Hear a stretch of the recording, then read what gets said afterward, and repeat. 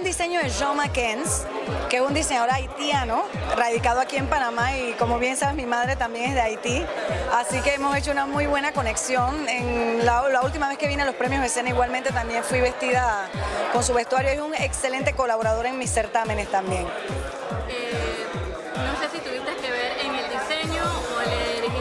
No, este, este vestido lo vi en un desfile y cuando vi el color, que todo el mundo me decía, el amarillo te queda divino, tenía años no vestirme de amarillo, yo le dije, Jean, yo sé que esa modelo es la mitad de mi cuerpo, pero me encantaría tener un traje así. Y me dice, no hay problema. Y efectivamente no hubo problema. No, en el caso de Jean, eh, obviamente esto para él es una exposición. Eh, no me lo alquiló tampoco, eh, con mucho gusto me lo prestó para la noche de hoy. Pero sí, nosotros adquirimos mucho los diseños de él, porque me encantan. Bueno, en esta ocasión es alquilado. Gracias, pues debo agradecerle también a mi amiga Reina, que se lució escogiendo el mejor que, tenía por ahí. pues sí, esta vez sí es alquilado. Sí esta vez vengo combinado con mi, con, mi, acompañante, que es la bella Tania Jaime. Y bueno, decidimos que algo de amarillo, ¿no? Para que viniéramos combinaditos. Oh, mira, este es un vestido que yo me inventé. Yo no soy una persona normal. Yo soy una mujer, siempre he sido una mujer vanguardista.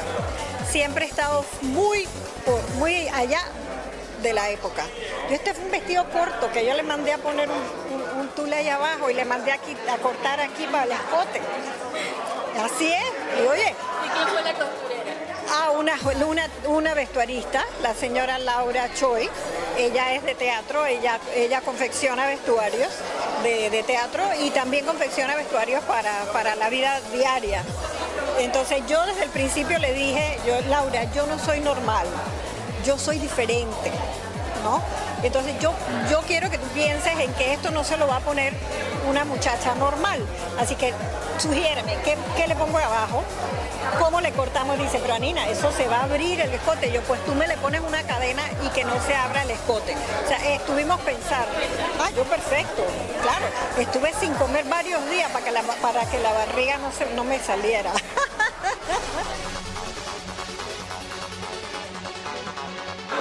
Mira, por la ocasión y por el poco tiempo que tuve, lastimosamente fue alquilado, pero fue preciso y conciso. Creo que atiné.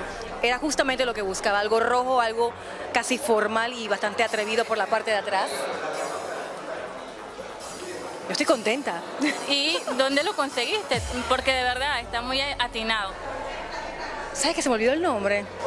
Es, finaliza con Cochiur, pues se me olvidó el nombre.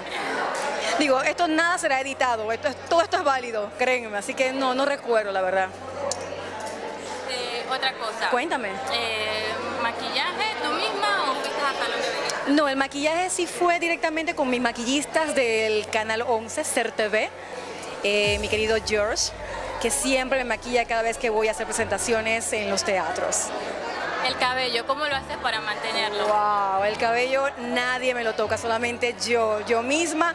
Las personas me preguntan, ¿y pero ¿y a qué salón vas? ¿Y qué te pones? Pues señores, no me pongo nada, yo misma me peino y no es mucho, gracias a Dios, es bastante fácil.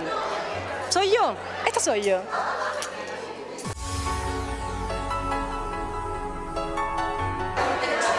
Black tie que tienen una variedad espectacular de trajes para este tipo de ocasiones. Así que siempre que tengo una necesidad, una ocasión así, voy inmediatamente allá. ¿Y por qué negro? Porque me hace verme un poquito más flaca.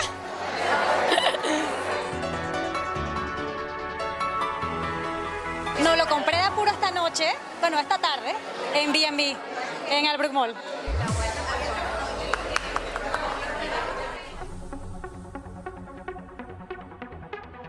Es un vestido regalado de una amiga de una mamá mía, que lo arreglé para que me quedara.